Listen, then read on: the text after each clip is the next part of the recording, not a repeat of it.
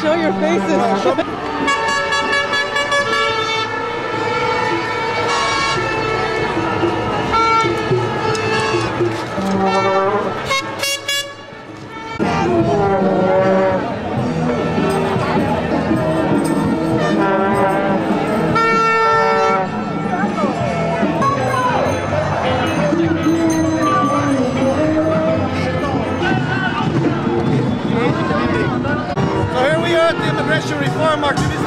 Two large. Two large. If you look that way, you can't hear anything that they're saying on the microphone. But we're finally going to start moving. Hopefully we can move more than 10 feet.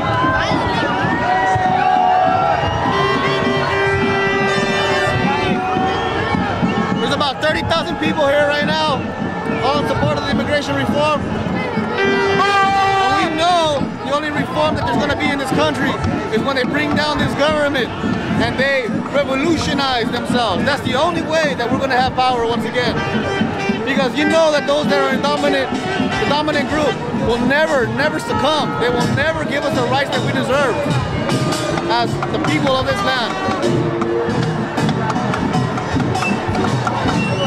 I am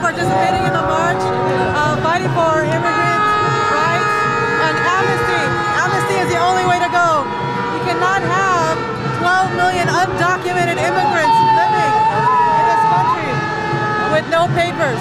How can they fulfill their potential? They contribute to this country in so many ways, and I think it is a grand injustice not to grant them amnesty.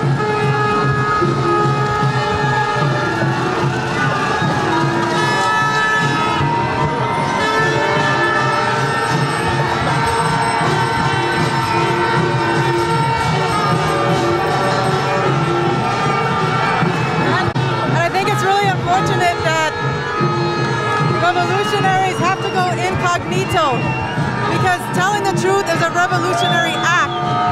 And it's really sad that we have to do this, but this is just the way the world is at this point.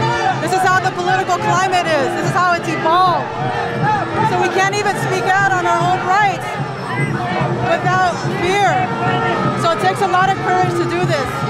And I'm hoping that Obama will get this message and say this isn't going to go away. You need to do something about it.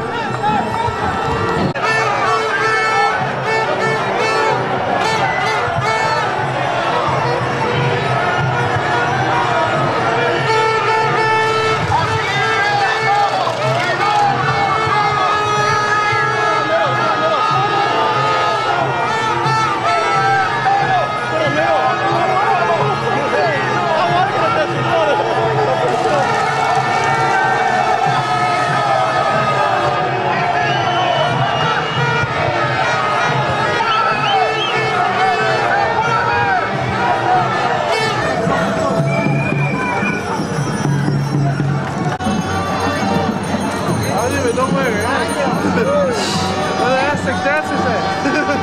That's it is.